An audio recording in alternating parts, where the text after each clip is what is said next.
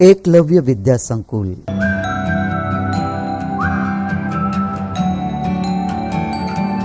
ચાલો, ગયા વિડીયોમાં જે આપણું યુનિટ સેવન છે વન એન્ડ મેની તે આપણે શરૂ કરેલું હતું. બરાબર છે? ચાલો, એકવાર તમને સમજાવી દઉં, ત્યાર પછી આપણે ફન ટાઈમ કરીએ. તો વન એન્ડ મેની ચેપ્ટરમાં આપણે શું જોયેલું હતું?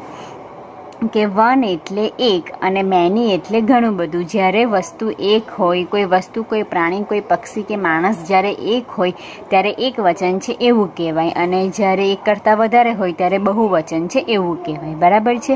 અને આપણે શીખેલા કે એક વચનમાં એ લગાડવાનું કે એન લગાડવાનું. પણ બહુ વચનમાં એ કે એન લગાડવાનું નહીં. હવે ત્યાર પછી તમને એ તો ખબર જ છે, એ ક્યારે લાગે અને એન ક્યારે લાગે. જે આપણા સ્વર છે, એ, ઈ, આઈ, ઓ, યુ, એ જ્યારે હોય ત્યારે એન લાગે અને બાકીના વ્યંજન સાથે એ લાગે. બરાબર છે? હું તમને ગયા વીડિયો એકદમ સારી રીતે સમજાવ્યું હતું. તો તમે બધા વીડિયો એકવાર ફરી જોઈ લેવાનો. ત્યાર પછી તમે ફન ટાઈમ કરશો તો તમને સારી રીતે આવડશે. ત્યાર પછી આપણે બહુવચનમાં ફેરવવા માટે બે નિયમ જોયેલા કે જે આપણું તેની પછાડી એસ લગાડવાનો, નહીં તો ઈ એસ લગાડવાનો. તો ક્યારે એસ લગાડવાનો? તો જ્યારે કોઈ મોટા ભાગેના જાતિવાચક શબ્દ સાથે આપણે એસ જ લગાડવાનો છે. પણ ઈએસ ક્યારે લાગે? જ્યારે વાક્યમાં એસ હોય ડબલ એસ હોય સીએચ હોય એસએચ હોય એક્સ હોય કે ઓ હોય, ત્યારે ઈએસ લગાડવાનું. અને બાકીના બધા સાથે શું લગાડવાનું? X S લગાડવાનું. બરાબર છે?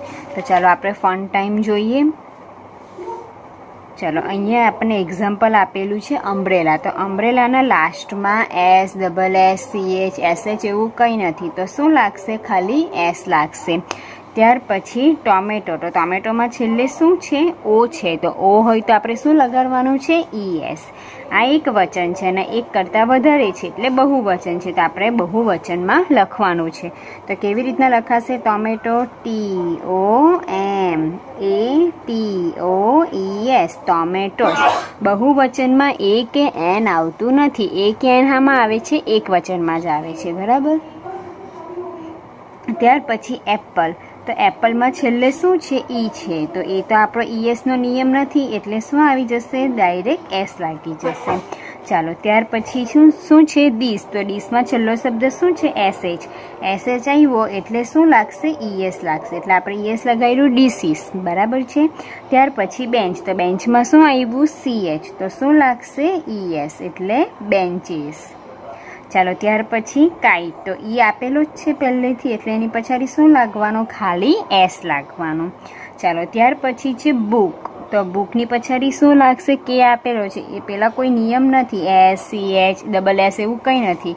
એટલે શું લાગશે? એસ લાગશે. એટલે બુક્સ બરાબર છે? ચાલો ત્યાર પછીના જે વન, ટુ, થ્રી, ફોર અને ફાઇવ જે આ ગ્લાસ સુધી છે, તે તમારે શું કરવાનું છે? હોમવર્કમાં કરવાનું છે. બાકીને આપણે નેક્સ્ટ વિડીયોમાં જોઈશું.